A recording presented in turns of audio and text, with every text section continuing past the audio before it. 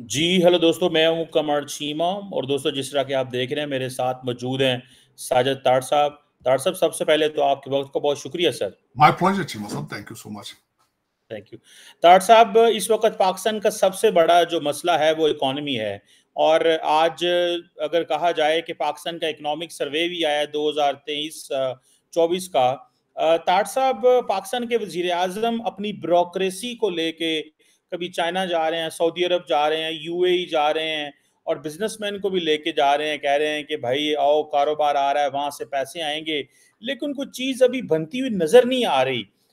इसको जरा बताएँ कि ये जो हुकूमत पाकिस्तान बड़ी कोशिश कर रही है इकोनॉमी को रिवाइव करने की और कहा जाता है कि थोड़े दिन पहले ये कहा गया कि पाकिस्तान की जो ब्रोक्रेसी है तारड़ साहब वो इस काबिल ही नहीं है कि वो पेपर वर्क कर सके। ये मुसद्दक मलिक साहब, जो कि पाकिस्तान के एनर्जी के मिनिस्टर हैं, उन्होंने ये बात की और जरा तारड़ साहब ये भी बताएँ कि पाकिस्तान की इकोनॉमी जो इस इकोनॉमिक सर्वे के मुताबिक 2.4 परसेंट पे जो है वो ग्रो करेगी इस फ़िज़िकल ईयर में। पर कैपिटा इनकम जो है, वो कहा जा रहा है कि 1600 अरब डॉलर 1700 अरब डॉलर के करीब हो गई है। तार साहब इन्फ्लेशन वो कह रहे हैं 26 परसेंट के करीब है। आप कैसे देखते हैं, अगर इकोनॉमी 2.5 परसेंट पे ग्रो कर रही हो इन्फ्लेशन 26 परसेंट पे हो ब्यूरोक्रेसी पेपर वर्क नहीं कर पा रही और हम चाइनीज़ अमारातीज और सऊदीज को अपना पेपर वर्क तैयार ना करने की वजह से वो इन्वेस्टमेंट यहाँ तक अभी तक नहीं पहुँच रही, कैसे देखते हैं तारक साहब इस सारी होल जो सिचुएशन है इसको? चीमा साहब दर हकीकत अभी तक मेरे मेरे कानों, मेरे कान तरस चुके हैं कि किसी भी को बाशऊर आदमी ने को बाशऊर हल बताया हो पाकिस्तान अकानमी का। अभी तक किसी ने उस ग्रास रूट इश्यूज़ को डिस्कस ही किसी ने नहीं किया। बल्कि आज के मैं बल्कि आज जो मैं बातें करना चाह रहा था चीमा साहब मैं हम हमेशा मसाइल की बात करते हैं हल की बात नहीं करते। हम आज मैं हल की भी बात करना चाहूँगा खास खासकर इस, इस चीज़ पे। देखिए जो साथ जाते हैं सिफारिशी चले जाते हैं। मैं छोटी सी मिसाल लेता हूँ। सियासतदानों को उठा के चले जाते हैं जिनको इकोनॉमी के स्पेलिंग तक नहीं पता। ब्यूरोक्रेट साथ ले जाते हैं, जो जो जिनके बच्चे सबके लंदन बैठे होते हैं, उनका, वो सारा दिन व्हाट्सएप पे के साथ बैठ के बच्चों से चैटिंग कर रहे होते हैं, लंदन के मसाइल डिस्कस कर रहे होते हैं, पाकिस्तान के मसाइल डिस्कस नहीं करते वो। यही इश्यूज़ है आपके। चिमा साहब, मैं आज की ये बात करने शुरू करने से पहले इसकी बेस बनाना चाहूँगा कि आज आप कहाँ हैं? आप भारत से, अपने पड़ोस से तो आप बात नहीं करनी चाहिए आपको, क्योंकि आपका और उनका छिहत्तर साल का प्रूवन गैप है। आप, मैं इस पर डिबेट करने के लिए तैयार हूँ कि आप एटलीस्ट छिहत्तर साल भारत से पीछे हैं। और उसके बाद इसी तरह आप तिरपन साल बांग्लादेश से पीछे हैं। तिरपन साल पीछे। मैं मैं प्रूव करना चाहूँगा इसके बाद। आप अब अफ़गानिस्तान से भी पीछे हैं। मैं उसको प्रूव करना चाहूँगा। बांग्लादेश की जीडीपी पर कैपिटा इस वक्त उनकी छब्बीस सौ अठासी रुपीज़ है उनकी जीडीपी छब्बीस सौ अठासी dollar I sorry I am mistake Bharat की जीडीपी चौबीस हो इतनी बड़ी पॉपुलेशन होने के बावजूद 2410 डॉलर जीडीपी आपकी जीडीपी कहाँ है? पंद्रह सौ अठासी है आप। आप इन दोनों मुल्कों का हिस्सा थे आप। एक से आप तिरपन साल पीछे हैं, एक से आप छिहत्तर साल पीछे हैं। आगे चलते हैं, थोड़ा सा आगे लेके। भारत में एक डॉलर तिरासी रुपए का है आज की डेट में एक सौ सतारह बंगाली जो बंगाली उनका टका है, एक सौ सतारह है एक डॉलर की। Afghani sixty nine point five zero afghani मिलते हैं। आपका क्या है? दो सौ अठहत्तर है। और आईएमएफ आपको कह रहा है कि ये 230 पर 330 पर लेकर जाना है आपने। यहाँ आप खड़े और मैं आपको बार बार चीख के कहता हूँ कि इस्लामाबाद के स्टेब्लिश डिवीज़न के अंदर हर जो सेक्रेटरी बैठा है, उसके पास डिग्री हार्वर्ड की है और ऑक्सफोर्ड की है। आज मैं बल्कि खासकर जो आगे बातें करूँगा वो मैं एड्रेस ही इन ब्रिटिश एजेंटों को करना चाहता हूँ। कई लोग इसके, मेरे अगले आने वाली बातों में इंटरेस्ट नहीं रखेंगे वो, क्योंकि मैं दो तीन मुल्कों की मिसालें देना चाहता हूँ। शायद इन लोगों को कोई शर्म आ जाए। सिंगापुर इनके सामने है। सिंगापुर की इस वक्त जीडीपी अट्ठासी हज़ार पाँच सौ डॉलर है चीमा साहब, सिंगापुर की। मैं सिंगापुर को भी डिस्कस करना चाहूँगा। एक तो मैं ये बताना चाहूँगा कि खुदारा इन सिविल सर्विस जो आपके हैं, इस पाकिस्तान के खर्चे पे इनको बरतानिया और अमेरिका और ऑस्ट्रेलिया की यूनिवर्सिटियों में भेजना बंद कर दें इनको। इनको भेजना है तो बांग्लादेश भेजें कोर्स करने के लिए, इनको इंडिया भेजा करें कोर्स करने के लिए, उसकी भी ज़रूरत नहीं है। इनको कोई यार गूगल पे रिसर्च कर लो। खुदा रहा ये पाकिस्तान के ऊपर जुर्म ना करो। ये यहाँ आते हैं तो वापस नहीं जाते ये। ये यहाँ मंसूबे बना के जाते हैं बीवियाँ बच्चे यही छोड़ के जाते हैं और फिर पाकिस्तान में रिश्वत का रेट डॉलरों और पाउंडों में करते हैं जाके तरस करो इस कौम के ऊपर। मैं उन्हीं के बारे में डिस्कस करना चाहूँगा। चीमा साहब मैं खासकर एक एक एक एक, एक अल सलवाडोर एक छोटा सा मुल्क है साउथ अमेरिका में। वहाँ एक यंग प्राइम मिनिस्टर दूसरी दफ़ा उनका जो है वो जीता है नायब बकले उसका नाम है फलस्तीन से उसकी उसके एंड सिस्टर फलस्तीन से शिफ्ट होके अल सलवाडोर गए। कंजर्वेटिव इस वक्त सिस्टम ऑफ़ गवर्नमेंट की सबसे बड़ी फार राइट सबसे बड़ी मिसाल उसकी है।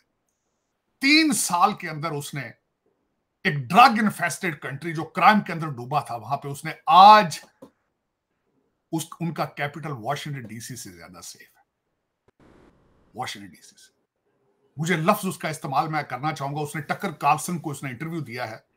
उसमें उसने कहा द कंट्री मैंने डबल तादाद की फौज की क्राइम को लड़ने के लिए सत्तर हज़ार गिरफ्तारियाँ मैंने जो गैंग्स थे, जो ड्रग माफिया सत्तर हज़ार का उनको अरेस्ट किया। सत्तर हज़ार। चीमा साहब, कौमें ऐसे नहीं बनती। आप तो कौम ही नहीं हो ना, सबसे बड़ी बात तो ये है। आपके अंदर वो फार्मूला ही नहीं जो कौमों के अंदर होता है, चीमा साहब। फिर उसने दूसरी बात की, उस इंटरव्यू जो टक्कर कार्लसन को दिया, उसने कहा, सत्तर मैंने वीटो किए थे कानून जिनको जुडिशरी ने मज़ाक बना के तो उनको कहा कि उनको सुपरसीड किया जुडिशरी ने। फिर मैं कहता, वो कहता, मैं फिर कौम के पास गया हूँ कि मुझे टू थर्ड मेजोरिटी दो और मैं रेफरेंडम कराता रहा अपने कानून मुल्क को बचाने के लिए। आपके कंट्री के अंदर जो जुडिशरी है, वो सारे पॉलिटिशियन बैठे हैं वहाँ पे। एक्टिविस्ट बैठे हैं सारे, चीमा साहब। सारे पीटीआई के वर्कर चट्ठे हैं सारे। चट्ठे। उनके सामने कौम नहीं है। उनके सामने पाकिस्तान नहीं है। चट्ठे हैं सारे। उसके बाद उसने मिसाल दी, चीमा से मैं हैरान हूँ, मैं चाहूँगा ये बच्चे खासकर जो लौड़ा लपाड़ा हवारा फिर रहा है, ये टक्कर खैर, इनको तो इंग्लिश आती नहीं है। मैं मैं खून के आँसू रोया हूँ अगले दिन जब ये मैं मैं हैरान था। यूट्यूब के ऊपर जब ये हार के भागे हैं आपके लौंडे लपाड़े क्रिकेट वाले तो उसके बाद जाके उन्होंने लाकर रूम एक एक ट्रेडिशन होता है लाकर रूम में जाके उन्होंने मेडल दिए अपने खिलाड़ियों को। Total conversation was in in English language आपके अवारा लौंडे, लपाड़े जो अफसरों के बच्चे, जो आप क्रिकेट टीम के आपने अंदर डाले हैं, इनको इंग्लिश कोर्स कराते हैं आपके क्रिकेट वाले, फिर भी इंग्लिश नहीं बोल सकते। अब मैं क्या मिसालें दू इनको, आप, मैं इन लोगों की क्या, ये गूगल करने की सलाहियत नहीं रखते, अगर ये गूगल करके क्या पढ़ेंगे ये? ये सारा आवारा बच्चा जो आपका है करप्ट अफसरों के अवारा बच्चे, जो पीटीआई के सारे वर्कर हैं, इनको क्या पता इंग्लिश में क्या पढ़ना है? क्या पढ़ना है?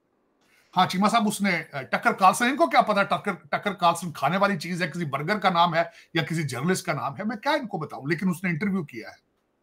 और उसके अंदर जो नायब बकले है, उसने उसको बताया है कि आपका अमेरिका भी नीचे जा रहा है। आपने भी जब 911 की यादगार सितंबर 11 की यादगार बनाने में 10 साल लगाए, जबकि वर्ल्ड ट्रेड सेंटर एक साल में बनाया गया था, उसने मिसाल दी उसने उसने कहा, आपको भी क्राइसिस है। फिर ये जो सी एस एस अफसर के आपके जो जो आपके सारे तो नहीं मैं कह सकता, कुछ अच्छे भी होंगे तभी इस वक्त अभी तक पाकिस्तान कायम है पाँच परसेंट, तीन परसेंट अच्छे भी होंगे। उनसे मेरी दूसरा रिक्वेस्ट है, अगर किसी को गूगल करना है तो अर्जेंटीना के अंदर अवियर मिले आ चुका है, उसको प्लीज़ गूगल करें आप। दिसंबर 2030 में आया है इकोनॉमिक्स और पॉलिटिकल साइंस पढ़ाता रहा है बंदा वो, जो इस वक्त वहाँ पे। चेन सा था उसके हाथ में, जब वो आता था तो अपनी कंपेन के दौरान कुल्हाड़ा अपने हाथ में रखता था कि मैंने आके गवर्नमेंट आदि कर देनी है। चीमा साहब, उसने आते ही पंद्रह हज़ार बंदा निकाल दिया जॉब से उनकी गवर्नमेंट के ऊपर सबसे बड़ा बोझ था उस मुल्क के ऊपर कि वहाँ पे जो उनके गवर्नमेंट मुलाजमी सिफारशी जिस तरह आपने पीआईए में भर्ती किए उसने आते ही पंद्रह हज़ार निकाल दिया, सत्तर हज़ार बंदा टारगेट लिस्ट पे है। मेरा एक क्वेश्चन है, इन सारे सेक्रेटरियों से और सारे ये ब्रिटिश एजेंटों से पीआईए जो बेच रहे हो, बाहर से भी तो आके कुछ चलाएगा ना माइका लाल? खुद क्यों नहीं चला लेते हो भाई? खुद क्यों नहीं चला लेते इसको? ये सीख लो इस अर्जेंटीना वाले से।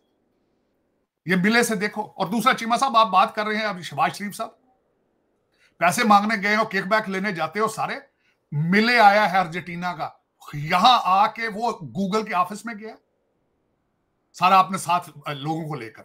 उसके बाद वो एप्पल के ऑफ़िस में गया। उसके बाद वो ईलान मस्क से मिला है जाके खुद। और उसके बाद जाके उसने आर्टिफिशियल इंटेलिजेंस का प्रोग्राम बना के यहाँ से लेकर गया। कभी आप तक, आपका कोई प्राइम मिनिस्टर गया इनके ऑफ़िस में? इनको माइक्रोसॉफ्ट के स्पेलिंग नहीं आएँगे आपके जितने सियासतदान है जितने स्टेब्लिशमेंट वाले। चीमा साहब, ये चाइना में सिर्फ़ पैसे मांगने किक बैक लेने जाते हैं, कभी गए हैं ये गूगल के ऑफ़िस में? माइक्रोसॉफ्ट के ऑफ़िस में गए कभी? कभी इन्होंने सोचा है कि बच्चों को आर्टिफिशियल इंटेलिजेंस किस तरह पढ़ानी वो मिले, गया चीमा साहब। अर्जेंटीना का उससे आगे चलते हैं। मैं, इनको सबको पता है कि ये जो जितने आप भेजते हैं, ये जो लोअर मिडिल क्लास के सी एस एस अफसरान आप भेजते हैं ऑक्सफोर्ड पढ़ने के लिए, जो यहाँ मकानों पे निशानियाँ ले जाके लगाते हैं, जो इस वक्त सारे जो टोरंटो बैठे हैं, इनको सबको पता है सिंगापुर में क्या हुआ था। चीमा साहब, सिंगापुर की हिस्ट्री क्या थी? ब्रिटिश ने खरीदा था। ब्रिटिश ने खरीदा था। कलकत्ता बंगाल के अंदर अफीम लगाते थे, अफीम काश्त की जाती थी प्रोसेस की जाती थी सिंगापुर में। प्रोसेस की जाती थी सिंगापुर में और फिर चाइनीज़ वर्कर थे, वो सारे अफीम पे लग गए थे। अफीम खाना शुरू हो गए थे अफीमची हो गए थे। उसके बाद वहाँ पे जो ली क्वान जो उसके बाद उनका जो प्राइम मिनिस्टर ली आया, चीमा साहब उसने आके पहले मलेशिया के साथ इलाहाक किया। उन्होंने वहाँ पे मलेशिया ने मले को अपने को ज़्यादा राइट्स देते थे, फिर वहाँ से वापस आया। चीमा साहब उसने कानून बनाए हैं, सजा दे, सजा दी जाती थी, जिसका बच्चा पढ़ता नहीं था चीमा साहब। और जो उन्होंने उसके बाद माइनॉरिटी की सेफ्टी के लिए जो कानून बनाए, जो पॉलिसियाँ बनाई, आज भी वहाँ पे डाइवर्सिटी डे मनाया जाता है। आपका बच्चा स्कूल जाता है तो जो उसका मज़हब है, दूसरे मज़हब का उसने लिबास पहनना होता है। रिलीजियस हारमोनी सिखाई किस तरीके से उन्होंने। चीमा साहब, वहाँ पे आप आप च्यूइंगम च्यू करके नहीं फेंक सकते आप। और सबसे बड़ी बात यह है कि किस तरह करप्शन को उन्होंने कंट्रोल किया इस वक्त दुनिया का सबसे हाईली हाईएस्ट पेड जो प्राइम मिनिस्टर है, वो सिंगापुर का है। जो कि प्रेसिडेंट प्राइम मिनिस्टर ली का बच्चा है छह लाख डॉलर तनख्वाह है उसकी इतनी तनख्वाह इसकी हमारे बाबे की नहीं है अमेरिकन प्रेसिडेंट इसके बाद वो करप्शन करता है फिर वो उसको तोन करा देते हैं चीमा साहब ਇਹ ਭੱਜ ਭੱਜ ਫਿਰਦੇ ਨੇ ਚਾਈਨਾ ਨੂੰ ਜਾਂਦੇ ਨੇ ਕੇਕ ਬੈਕ ਲੈਣ ਉੱਥੋਂ ਸਿੱਖਦੇ ਨਹੀਂ ਆ ਕੇ ਸਜ਼ਾ ਕਿਵੇਂ ਦਿੰਦੇ ਨੇ ਗੋਲੀ ਮਾਰਦੇ ਨੇ करप्शन ਨੂੰ ਪੈਂਦਾ आपकी इकोनॉमी ठीक ही नहीं हो सकती जब तक आप करप्शन ठीक नहीं करेंगे चीमा साहब एक बात मैं और मजीद आज आपको बताना चाहूंगा टक्कर कार्लसन ने जब पूछा था नायाब बकले से तुमने पहली पह, तुम्हारी पहली टर्म का क्या टारगेट था दूसरी टर्म का क्या टारगेट है उसने कहा पहली टर्म के अंदर मेरी ख्वाहिश थी मुझे पता था जब तक अमन नहीं होगा पीस नहीं होगा इस मुल्क के अंदर अकानमी ठीक नहीं होगी मैंने पहले तीन साल में पीस पे काम किया अब दूसरे तीन साल में अकानमी पे काम ਕਿ ਤੁਹਾਡੇ 25 ਕਰੋੜ ਅੰਨਿਆਂ ਨੂੰ ਇਹ ਨਹੀਂ ਪਤਾ ਲੱਗਦਾ ਪਿਆ ਇਹ ਦੁਨੀਆ ਕਿਵੇਂ ਅੱਗੇ ਜਾ ਰਹੀ है कोई पता नहीं को चीमा साहब कि पाकिस्तान के अंदर पीस के बगैर इकानमी ठीक नहीं हो सकती इनको नहीं पता इस बात का। परसों परसों आपके फौजी मारे गए, कैप्टन एक और शहीद हुआ है, जो दहशत गर्दी में मारा गया। मैं ये इनसे अपील करना चाहता हूँ, ये जितने खास साहब मुर्शद के मुरीद हैं, इनको सारों को अफ़गानिस्तान भेजे। जिसका नाम ही तालिबान खान था, जो कहता था, पचास हज़ार इधर ला के मैंने आबाद कर रहे हैं, पाँच हज़ार तालिबान यहाँ बैठे हैं, इस्लामाबाद और पाकिस्तान के अंदर। इन सबको भेजे, अफ़गानिस्तान से कोर्स करके हैं वहाँ पे जाके। तालिबान इंस्टीट्यूट ऑफ़ क्षेत्रबाजी वहाँ से सीख कर आए जो अभी भी लैशिंग करते हैं। चीमा साहब इस तरह नहीं होता जिस तरह मुल्क चलते हैं आप। जिस तरह आप चला रहे हैं, इस तरह इस तरह खोखा नहीं चलता पान का चीमा साहब, जिस तरह आप चला रहे हैं। आज भी मुर्शद ने बैठ के कहा है उन्होंने कहा, नकवी दी सर्जरी मैं आप करांगा एक कौन सर्जन है? मेरे तो बड़ा सर्जन केड़ा आज आप कहाँ खड़े हैं? चीमा साहब, मैं बताना चाहूँगा आपको। आप आज भी कंफ्यूज हैं, बांग्लादेश पे गद्दार कौन था? आपको आज आज भी नहीं पता। आज भी इस पे डिबेट हो रही है कि मुजीबुर, मैं मुजीबुर रहमान बनना है। एक कहता है, मैंने मुजीबुर रहमान बनना है, दूसरा कहता है, मैंने इसको बनने नहीं देना। एक कहता है, मैं एयर कंडीशन उतारूँगा, दूसरा कहता है ट्रेडमिल ट्रेडमिल जेल चाहिए आप इससे ही आगे नहीं बढ़ पा रहे। पॉलिसी बनाना तो बहुत बड़ी बात है, चीमा साहब। बहुत बड़ी बात। लेकिन मैं, चीमा साहब, दुख वाली बात यह पता है, खबरें नहीं पढ़, देखें जब आप तरक्की से मुँह मोड़ लेते हैं। आप जब कहें कि हमने तरक्की करनी ही नहीं। हमने दहशत गर्दी के कारोबार ऐसा डॉलर आपको लगा आप वहाँ से निकल नहीं रहे अब दुनिया वहाँ नहीं ले रही आपका वो जो बेच आ, इस वक्त तीन चीज़ें आपके पास हो रही थी। मतलब कल भी आज मैं आपको एक बिलियन डॉलर की उसने झंडी कराई है थोड़ी सी। आप अमेरिका से अमेरिका के पाँव से उठते मिलते उनके पाँव चाटते तो आप चाइना के चले जाते। चाइना से उठते तो यू और सऊदी अरेबिया खुदा का नाम है यार। चीमा साहब मैं आज बल्कि इस पे कंक्लूड ये करना चाहूँगा खासकर मैं खुद सोचता रहा हूँ चीमा साहब बड़ा कि वाकई मैं रोज़ाना चीखता हूँ कि लुट गए और खा गए और वारा तुम मादरे मिलत कपड़े पाड़ रहे हो, कभी आए थे? दस या नहीं, इन्होंने के करना की चाहिए? हालाँकि सब, सबको पता है मैं कोई नई बातें नहीं करने लगा।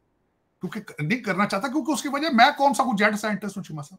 अब या वॉशिंगटन डीसी से खासकर देख दूसरे मुल्कों के साथ कंपैरिजन करने का मौका मिलता है।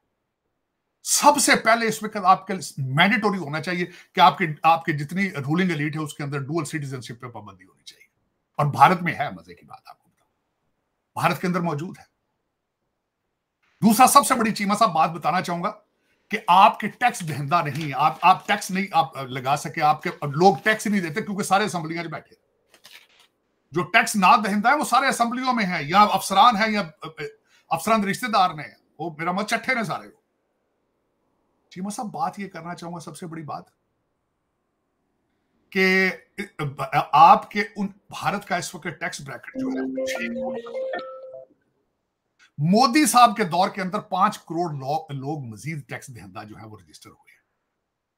और आपके कितने हैं? तीस से चालीस लाख चालीस लाख के दरमियान। कभी आप कहते हैं सिमे बंद करेंगे, कभी कहते हैं हम ये करेंगे, कभी हम बंद करेंगे, कभी आप कहते हैं वाल बनाएँगे। चीमा साहब, सिर च पीड़ हो गए तो सिर ला दी अगर आपके सर में दर्द हो तो गर्दन उतार दी जाती है चीमा साहब।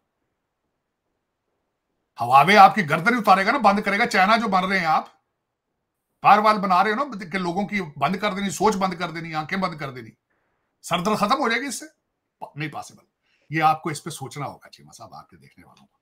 दूसरा सबसे बड़ी बात यह है, चीमा साहब, जो दूसरी प्रपोजल जो मैं एक तो ये टैक्स का बात कर रहा था, तीसरी ईसीएल पे मैं मिनते करता हूँ, पचास हज़ार लोग होने चाहिए ईसीएल के ऊपर। चीमा साहब, आपने जब क्रैकडाउन कर लेते हैं आपने शबाज गिल का भाई भी पकड़ लिया कल जब आप क्रैकडाउन करते हैं। तो जो करप्ट करप्ट लोग ने, उनको क्यों नहीं पकड़ते आप? आपको पता है जो करप्ट है सारे? आप पैगसेस के ज़रिए हर बंदे के व्हाट्सअप फ़ोन सुन रहे हैं आप। आज आपने, आज पासपोर्ट बंद कर दिए आपने असाइलम वालों के तो जो करप्ट है उनके पासपोर्ट क्यों नहीं बंद करते आप? आपके ईसीएल होना चाहिए, पचास लाख लोग पचास हज़ार लोगों का नाम होना चाहिए ईसीएल पे। दूसरा मैं ये कहता हूँ चीमा साहब खासकर, हाफिज साहब है सबसे बड़ा इस वक्त हमारे incharge the most powerful person है। अरबी बोलते हैं फटर फटर बोलते हैं दो दो आयतें सामने बोलते हैं दो बाद में बोलते हैं। सऊदी अरब के साथ उनके बड़े अच्छे रिलेशनशिप हैं। जाके एमबीएस से मिलते हैं। किसी वक्त एमबीएस से ये भी पूछ लें कि उसने पैसे किस तरह निकलवाए थे लोगों से। ये क्यों नहीं पूछते? वो क्या मलक रियाज तारसा मलक रियाज आकर तो गया है ओवर माय डेड बॉडी कुछ हाँ? भी नहीं दूँगा अगले दिन स्टेटमेंट नहीं देखी तो ये ये कैसे पर चलते हैं चीमा साहब। ओ पर मेरा तो मलक रियाज अपना आइडियल बंदा सर। मैं तो आप कॉपी करने की कोशिश तो आप उन कोशिश करना बड़ा, इस इतना सियाना बंदा भी कभी होना है पाकिस्तान इतना सियाना बंदा भी होना है जरा ओन करता है पाकिस्तान को ऑलमोस्ट आज भी पाकिस्तान का ताकतवर तरीन आदमी मलक रियाज है। आज भी। चाहे दुबई में, आपका प्रेसिडेंट मिलने गया, उससे अपने पैसे का हिसाब किताब करन गया। इतने केंद्र दंद का इलाज कराने अखा का इलाज कराने दंद वो पैसों की पैसों का अपना सैटल चीज़ें। कितना ताकतवर बंदा होगा जिसको प्रेसिडेंट पैदल टुर के आगे मिलना पे is the most strongest person ever born in Pakistan Afreen Malik sahab?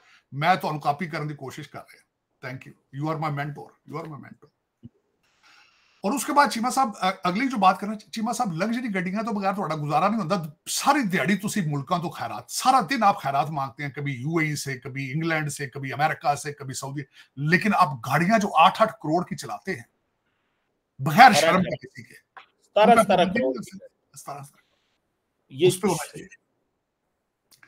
चौथी बात यह चीमा साहब, तालीम पे सब, अब आपके बच्चे, सब कितने बच्चे फंस गए थे अगले दिन जो किर्गिस्तान में वाक्य हुआ है? लेकिन पाकिस्तान में आप इस तरह की स्कूल नहीं बना सकते आप। अगर डिमांड है तो यही से उनको एमबीबीएस कराना और एमबीबीएस नहीं बन रहा तो कंपाउंडर ही बना लो थे लोकल इन्होंने यार। आपका चार करोड़ बच्चा इस वक्त जो स्कूलों से बाहर फिर तरक्की किस तरह करेंगे आप? मैंडेटोरी होनी चाहिए तालीम। चौथी एक बात चीमा साहब खुदा का नाम है पंजाब यूनिवर्सिटी और दूसरी यूनिवर्सिटी से पंजाबी फारसी एमए बंद कर दी गंडेरियां भी नहीं लगदियां बाहर रियोड़ियां भी दुकान भी नहीं ला सकता पढ़ के बच्चा ਜਿਹੜਾ वो कहना मैं तो एमए कीते है और इंग्लिश और मैथ मैंडेटोरी करो खुदा दा ना जाए अगर बचना है इंग्लिश और मैथ पे तवज्जो दो अगली जो दो प्रपोजल चीमा साहब मैं बताना चाहूंगा फौज का ड्राफ्ट फौज की नौकरी मैंडेटरी करो इस पाकिस्तान में मैंडेटरी करो और इनको ट्रेड दो जो भी बंदा फौज में आए, उसको एटलीस्ट वेल्डिंग सिखाओ, उसको ट्रेड सिखाओ, उसको कंप्यूटर सिखाओ, अगर कौम बनानी है। चिमा साहब, आखिरी चीज़ जो मैं ऐड करना चाहूँगा, खुदा का नाम है, अपनी अदालतों से चट्टे निकाल दो। और इनकी जुडिशल जुडिशल अपॉइंटमेंट जो है, वो वो किसी जबते के ज़रिए करो। मैं आपको हमेशा बताता हूँ, सिविल जज बनने के लिए तीन इम्तिहान देने होते हैं।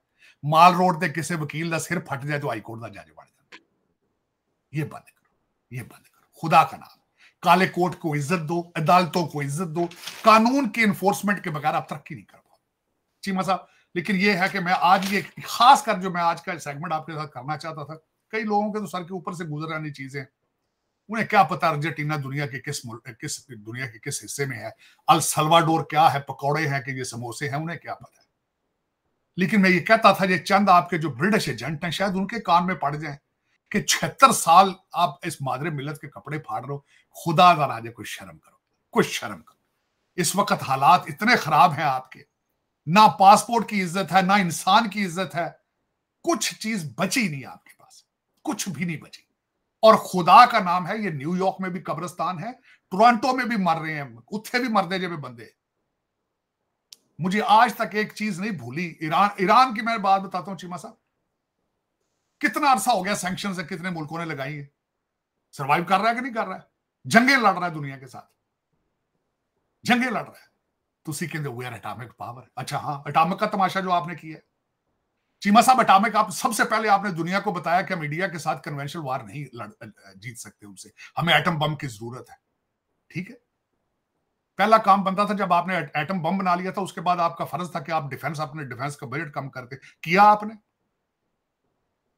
क्यों नहीं किया आपने क्योंकि आपका बचने का इरादा ही नहीं था आपका प्रोग्राम ही नहीं था कि सर्वाइव करें ਪਤਾ ਨਹੀਂ ਦੁਬਈ ਦੇ ਫਲੈਟ ਤੁਹਾਨੂੰ ਇੰਨੇ ਚੰਗੇ ਲੱਗਦੇ ਨੇ ਦੁਬਈ ਦੀ ਪ੍ਰਾਪਰਟੀ ਇੰਨੀ ਤੁਹਾਡੇ ਯਾਰ ਅੰਦਰ ਵੜ ਗਈ ਨਾ ਤੁਸੀਂ ਅੱਛੇ ਪਾਕਿਸਤਾਨੀ ਹੋ ਨਾ ਅੱਛੇ ਮੁਸਲਮਾਨ ਹੋ ਨਾ ਅੱਛੇ ਇਨਸਾਨ ਹੋ ਕੀ ਇਹ ड्रामा की है यार व्हाट इज इट चीमा साहब व्हाट इज इट अगले दिन मैंने और ध्रुव राठी का मैंने प्रोग्राम सुना क्या नाम है जो वो भारतीय बंदा जो जर्मनी से बैठ करता है उसका मैं प्रोग्राम प्रोग्राम देख के हैरान हो उसने कि if the India was if the largest India was not divided तो आज हालत क्या होनी थी?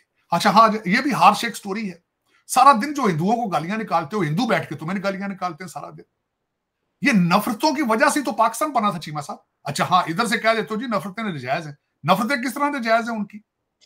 चीमा साहब, आप ये बताएँ कि जो मुस्लिम इन्वेडर थे, उन्होंने इस खत्े के ऊपर कौन सा जुल्म नहीं किया उन्होंने आज तक? कभी उनके पाँव, उनकी जूतियों में भी पाँव डाल के देखो कि आपके गौरियों ने, अब्दालियों ने क्या क्या नहीं किया, बाबर ने क्या क्या नहीं किया, वहाँ पे औरंगज़ेब ने क्या क्या नहीं किया वहाँ से। नफरतें तो चलो ठीक है, माजी में थी, लेकिन आगे चलने की कोशिश करो। उनका तो आपको तो सर्वाइवल का इशू है, उनको तो सर्वाइवल का इशू भी नहीं है। वो तो तरक्कियों में आपकी जो टू पॉइंट फोर परसेंट कह रहे हैं इकॉनमिक ग्रोथ है, वो भी मैं कहता हूँ फ्रॉड थोक लाई, जो ग्रोथ वाली केड़ी गल लोग सुबह की खा लेते हैं, शाम की फ़िक्र पड़ जाती है आपको। आपकी क्रिकेट टीम में मुझे तो उम्मीद है सारी वापस जाए। आधे तो यही रुक जाएँगे, आधे तो यही पोलिटिकल साइलम ले लेंगे। आपके जहाजों के एयर होस्टेस जहाँ जाते हैं पायलट के अलावा तो दूसरा बंदा वापस जाते ही कोई नहीं है। आपको पता ही है, वो ढकी छुपी बातें चीमा साहब। लेकिन हकीकत के आसपास रहो, ये फैंटेसी और फिक्शन से निकलने की कोशिश करो। मुस्तकबिल के बारे में सोचो मेरा मस आप मुझे ये बताएँ, सऊदी अरेबिया में सबसे ज़्यादा मांगने वाले आप हैं? खुदा पे यकीन ही नहीं आपका। हरम शरीफ के अंदर बैठ के मांग रहे हो खैरात? मैंने आपको चिमा साहब कई दफ़ा बताया, मैं उम्र पे गया हूँ जा मैं अंदर हरम शरीफ के मुझसे पैसे मांगते हैं पाकिस्तानी। मैं उनकी मिनतें करता हूँ, मैं तो खुद यहाँ मांगने आया हूँ, वहाँ से मांगो यार। कुछ शर्म करो। लेकिन चीमा साहब, इतनी मायूसी इतनी मायूसी। हर चीज़ में जेडी शहर हथ पाई और डिग पी हर शायद डिगी पी ये कल की खबर, आज मुझे कुछ बता रहा था बंदा। कि आ लौंडा लपाड़ा सिफारशी तुम क्रिकेट टीम के बंदे भेजे ने अपने अपने कमरिया बैठे बहना चाहिए डरदे पे बाहर निकलने तो आज मैच हो रहा हूँ कैनेडा ना सबसे पहले तो मेरे चाहिए था इनको कि नकवी साहब सर्जरी कर दे कि इन्हों कहते वापस आ जाओ यार प्लीज ਤੁਸੀਂ ਕੈਨੇਡਾ ਕੋਲੋਂ ਵੀ ਹਾਰ ਨਹੀਂ ਹੈ ਜਿੱਥੇ ਵੀ ਗਏ ਤੇ ਕੀ ਕਰ ਲੈਣਾ ਵਾਪਸ ਆਓ ਤੁਸੀਂ ਉਹਨਾਂ ਨੇ ਕਾਕੂਲ ਅਕੈਡਮੀ ਭੇਜੋ ਕਾਕੂਲ ਅਕੈਡਮੀ ਤੇ ਚਲੋ ਬੜੀ ਬਾਈਜ਼ਤ ਜਗ੍ਹਾ ਇਹਨੂੰ ਫੌਜ ਚ ਭਰਤੀ ਕਰਾਓ ਨਾ ਜਾ ਕੇ ਆਖੋ ਇੱਥੇ ਇਟਾਂ ਚੁੱਕਣ ਕਰਨ ਜਾ के और मैंडेटरी करो ड्राफ्ट इनको। चीमा साहब, मैं जिस मुल्क में बैठा हूँ, यहाँ ड्राफ्ट होता था, यहाँ पर ट्रेडिशन ये होता था। वो कहते थे कि army military military makes boys gentleman किरदार साजी करती थी आर्मी फिर जाती दफ़ा साथ हाथ में ट्रेड देती थी। वो बाहर निकलते थे, बेरोजगार नहीं होते थे। ट्रेड होता था। आपका लौंडा लपाड़ा आवारा रह रह के इस वक्त जो है, सारा का सारा ये आवारा हो चुका है इसको इनको इनको आर्मी में ले जाके इनको एक तो किरदार इनका बनाओ और दूसरा इनके हाथों में ट्रेड दो, जाबे दो फिर इनको बाद लेकिन ये कि चीमा साहब इसके पीछे जो ऊपर बैठे हैं, उनकी भी किरदार होने ज़रूरी है। मैं इतनी सारी बातें इसलिए क्योंकि आई एम स्टिल होपफुल कि हाफिज साहब आसम मुनीर इज़ जेंटल और मेरी अभी तक उनसे काफ़ी उम्मीदें अभी तक काफ़ी उम्मीदें हैं, पता नहीं फिर आगे क्या होता है। मेरा ख्याल में पहली दफ़ा हिस्ट्री में ऐसा हुआ है कि पाकिस्तान का ताकतवर तरीन आदमी एक हाफिज कुरान। है I am still very hopeful हाँ दूसरी ये भी अच्छी बात हुई है मियाँ साहब ने ट्वीट किया है मोदी साहब ने जवाब दिया है पहले भी बात कर रहे थे डॉक्टर जयशंकर ने बड़ी होपफुल अच्छा वही मैं मैं वही बात आपसे करना चाह रहा था कि एक तो प्राइम मिनिस्टर मोदी ने जवाब दिया है और दूसरा आ, इंडिया ने नेबरहुड फ़र्स्ट पॉलिसी के तहत ये बात कर रहा है कि हम पाकिस्तान के साथ क्रॉस बॉर्डर टेररिज्म का मसला हल करना चाहते हैं। कई लोगों का कहना यह है कि अब नरेंद्र मोदी साहब के पास वो पॉलिटिकल कैपिटल नहीं है, क्योंकि पहले वो दो दफ़ा इंडिपेंडेंट हुकूमत बनाए, अभी उनके पास वो पॉलिटिकल कैपिटल नहीं है, एक बात। दूसरा, ये जो पाकिस्तान से कॉन्टीन्यूसली पैगाम जा रहे हैं, अभी डॉक्टर जयशंकर कह रहे हैं कि हम इस मसले को हल करना चाहते हैं। तो जब क्रॉस बॉर्डर टेररिज्म का भी बात कर रहे हैं तो इट मीन्स कश्मीर का मसला है, और तो कोई मसला नहीं। क्रॉस बॉर्डर टेररिज्म जो है वो कश्मीर से लिंक है ना कि भाई कश्मीर को हम पे इल्ज़ाम लगाते हैं पाकिस्तान के ऊपर। आप क्या देखते हैं तार साहब? कोई ब्रेक थ्रू होता नज़र आ रहा है? आपको लग रहा है कि भारत और पाकिस्तान बात करेंगे? अब नरेंद्र मोदी कहा जा रहा है तारड़ साहब लेगेसी छोड़ना चाहते हैं। वो चाहते हैं कि जब मैं वज़ीर आज़म ना रहूँ तो मेरे दौर में पाकिस्तान के साथ मसले खत्म हो जाएँ और बीजेपी अपने क्रेडिट पे ऐसी चीज़ें ले ले कि देखो हमने पाकिस्तान के साथ भी मसले हल कर लिए वरना क्रिटिसिज्म ये हो रहा है नरेंद्र मोदी साहब के ऊपर कि वो बाकी नेबर्स के साथ तो इंगेज कर रहे हैं नेबरहुड फ़र्स्ट पॉलिसी के तहत। अगर पाकिस्तान के साथ ना किया तो क्या किया? इस तरह के सवाल भी इमर्ज करें। आप इसे कैसे देखें? मैं चीमा साहब मैं तो खुद इस, इस प्रोसेस का हिस्सा हूँ। मैं तो खुद मैं बल्कि मैं खुद ये समझता हूँ कि मैं इस इस ऑब्जेक्टिव पे काम भी कर रहा हूँ और मैं खुद ये मेरी अपनी ये लेगेसी मैं बनाना सोच रहा था इस चीज़ के बारे में हमेशा। कि पाकिस्तान भारत रिलेशनशिप ठीक हो, बिल्कुल एटलीस्ट ट्रेड शुरू हो और उसके साथ दूसरी चीज़ें आहिस्ता आहिस्ता ठीक हो जाएँगी। मेरा तो टोटल कन्विंस करने की कोशिश है दोनों साइडों पे और मुझे लग रहा था ये इस पे इस पे ब्रेक थ्रू होगा। इलेक्शन के बाद होना था, मैं मैं कई दोस्तों के साथ जो कि की पोजिशन पे हैं, मैंने उनके साथ डिस्कस किया था, भारत में भी और पाकिस्तान में भी। I was very hopeful always के ये दरवाज़ा खुलेगा और वो मुझे लग रहा है खुलता नज़र आ रहा है, क्योंकि आपकी बात बिल्कुल ठीक है। चीमा साहब, मैंने कल भी आपके साथ सेगमेंट में बात की थी कि सागर के बारे में जो साउथ एशियन इनिशिएटिव है भारत का और बिलखसूस नेबरहुड फ़र्स्ट उसके बारे में बिल्कुल उसमें, बल्कि आपने तो इस पर ब्लॉग भी किया है कि why Pakistan is left out उसमें बिल्कुल ये नज़र आ रही थी कि पाकिस्तान वाज लेफ़्ट आउट मुझे जो लग रहा था उसमें चीज़ें, मेरी जो स्पेकुलेशन थी कि वज़ीर आज़म साहब रिसेंटली चाइना गए थे वहाँ से हो सकता है कुछ डॉलर्स की स्मेल हो तो फिर उसके अभी उस वजह से वो मुनासिब ना समझ रहे हो कि कोई मैसेज किया जाए, भारत को चाइना को नाराज़ ना कहीं हो जाए। तो उस वजह से ये एक मेरे नज़र में ये भी थी बातें। देखिए इंटरनल ये चीज़ें होती हैं, लेकिन ज़रूरी था, बल्कि मैंने कल भी कहा था कि मेरी जो, मेरी अगर ख्वाहिश थी तो वो चाइना का प्रोग्राम थोड़ा डिले करके, भारत के साथ बात करके अनाग्रेशन पे जाया जाता था ओथ टेकिंग सेरेमनी पे जाया जाता, जहाँ सारे नेबर बैठे थे। नेपाल भी मालदीव भी, बांग्लादेश भी। तो चाहिए था कि उसमें जाए। बल्कि उसमें मैं आप कहता हूँ इट्स अ वेरी खुश आइंद बात है। It should be welcomed in Pakistan और इस जो कश्मीर का भी जो रिसेंट वाक़ हुआ है, वहीं से स्टार्ट लिया जाना चाहिए और बताया जाए कि Pakistan state is not involve in it क्योंकि जिस तरह की, जिस कश्मीरी ऑर्गेनाइजेशन ने उसकी रिस्पॉन्सिबिलिटी एक्सेप्ट एक्सेप्ट की है उस हादसे की, उस वाक्य की उसको लश्कर तैयबा के साथ जोड़ा जा रहा है लेकिन पाकिस्तान के पास अपॉर्चुनिटी है to clarify it and come clean out of it मेरे ख्याल में और move forward to start with trade और उसके बाद दूसरी चीज़ें। क्योंकि मैं समझता हूँ दुनिया में कोई भी चीज़ नामुमकिन नहीं है। We have to stay optimistic and move forward माजी के मूलों के गुस्सों के ऊपर हम हमें अपना मुस्तबिल खराब नहीं करना चाहिए। उन्होंने वाकई ज्यादतियाँ की हैं। Uh, जो देखें आज अगर आप बांग्लादेश की बात करके मुजीबुर रहमान को कह रहे हैं कि वो गद्दार नहीं था तो इसमें आप ये जरा सोचें कि मुगल जो करते रहे, वो भी ठीक नहीं था। औरंगज़ेब जो करता रहा, वो भी ठीक नहीं था। इस पे किताबें लिखी जा सकती हैं जो फॉरन इन्वेडर्स इस खत्ते के अंदर करते रहे हैं। तो उनके दुख में भी, उनका दुख भी समझना चाहिए। जो कश्मीरी पंडितों के दुख हैं, उनको भी समझना चाहिए, और चीज़ें भी कहें। हमें सीखना चाहिए what is the religious harmony how to live together हम सदियों से यहाँ रहे हैं सदियों से रहेंगे। We have to stay together matter of fact अपने अपने पर्सनल अपने अपने मजाहब को की इज़्ज़त करनी सीखनी चाहिए मेरे ख्याल बिल्कुल सही कह रहे हैं तार साहब। आज बड़ी बड़ी मज़ेदार आपने बात की है एलसेड जो एल सल्वाडोर सल्वाडोर क्या तो नाम एल सल्वाडोर सॉरी मैं भूल गया। थोड़ी गल मेरे मुँह नहीं निकल नायाब बकले सर नायाब बकले मैं is worth doing research is worth doing El Salvador जो है बल्कि मैं देख रहा था ट्रंप साहब के बेटे ट्रंप जूनियर वहाँ गए हुए थे। मैं वो सारी देख रहा था वहाँ पे अर्जेंटीनियन प्राइम मिनिस्टर तो वो मैं देख रहा था सारा कुछ वहाँ पे।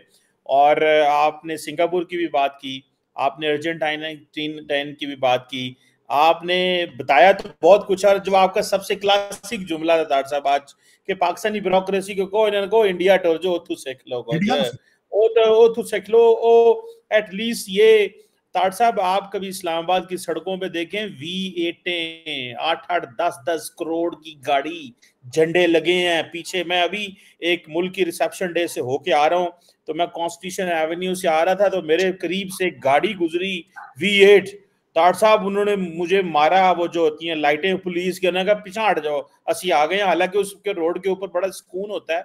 कॉन्स्टिट्यूशन एवेन्यू पाकिस्तान के मेन सड़क है, सब मेन पार्लियामेंट की बिल्डिंग वहाँ पे है।